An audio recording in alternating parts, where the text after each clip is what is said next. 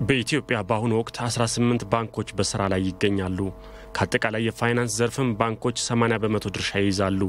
እነዚህ ባንኮች እያደረጉት ያለው አስተዋጽኦ መልካም ቢሆንም እያደገ ከመጣው ኢኮኖሚ ጋር ተመጣጣኝ የሆነ ተቋማዊ ለውጥ ማድረግ አለባቸው የሚሉት የምጣኔ ሀብት ባለሙያው ዶክተር ኢዮብ ተስፋዬ ናቸው።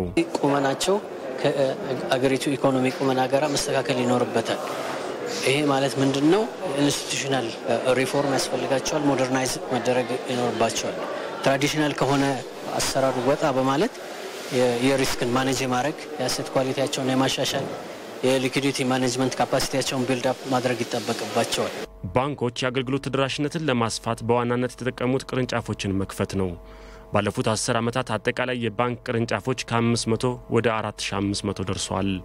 ይሁን እንጂ 40 በመቶ የሚገኙት በአዲስ አበባ ሲሆን የተቀሩትም በክልል ዋና ዋና ከተሞች ላይ ብቻ ተሰባስበዋል። ይህም የኢትዮጵያ የገንዘብ አገልግሎት ተደራሽነት ዝቅተኛ ደረጃ ላይ እንዲገኝ አድርጎታል ይላሉ የምጣኔ ሀብት ባለሙያው አቶ ሚካኤል አዲሱ። ከአፍሪካ እንኳ ከሳህራ በታች ካሉት ካየ ነው የእኛ በአንድ ሶስተኛ ያነሰ ነው። ኬንያ 80 85 percent ላይ ነው ያለችው። ኢትዮጵያ 25 28 percent ላይ ነው ያለችው በገንዘብ አገልግሎት ተደራሽነት። ቴክኖሎጂን ተጠቅመን ቴክኖሎጂ ዙሪያ ያሉ ህጎችን ማሻሻያ አድርገን የሚያስፈልጉትን መሰረታዊ የሆኑ የገንዘብ አገልግሎቶች እንዲደርሱ ማድረግ ነው። የባንኮች ተደራሽነት ከተማ ላይ ብቻ መሆኑ በሌላ በኩልም ሚዛናዊ የሆነ የብድር ስርጭት እንዳይኖርና የብድር አሰጣጡ ችግሮች እንዲኖሩበት አድርጓል ይላሉ የምጣኔ ሀብት ባለሙያዎች። በተለይ ደግሞ ለኤስኤምኤስ በስራ ፈጠራ አንጻር ባንኮች role ስላላቸው ያንንም ደግሞ መደገፍና ብድር የማይደርስባቸውን አካባቢ ብድር ፍላጎት እያላቸው ብድር የማይደርስባቸውን አካባቢዎች እነሱን address የማድረግ ሁኔታ ላይ መስራት አለባቸው። concentration ኣቸው ከተማ ላይ ላይ ብቻ መሆን የለበትም፣ ወይም ደግሞ የብድር አቅርቦታቸው ለተወሰኑ አካላት ብቻ መሆን የለበትም።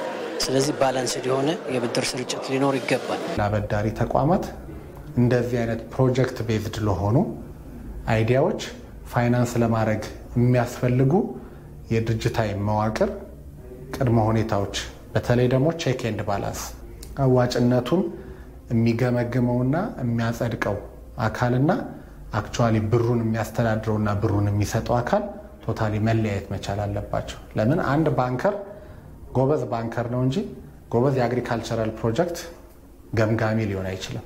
የምጣኔ ሀብት ባለሙያው ዶክተር ኢዮብ የባንኮችን ተቋማዊ ማሻሻያውን ለማድረግ ብሔራዊ ባንክ መጠናከር ይኖርበታል ብለዋል።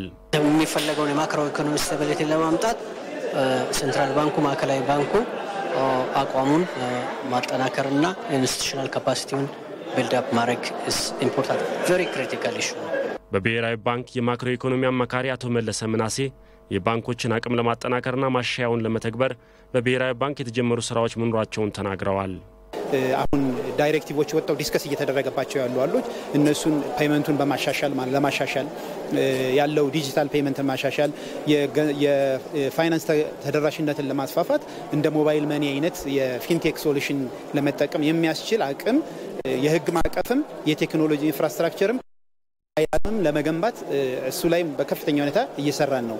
በኢትዮጵያ በስራ ላይ ያሉት ባንኮች አጠቃላይ ሀብታቸው በአሁኑ ወቅት አንድ ነጥብ ሁለት ትሪሊየን ብር መድረሱን መረጃዎች ያመለክታሉ።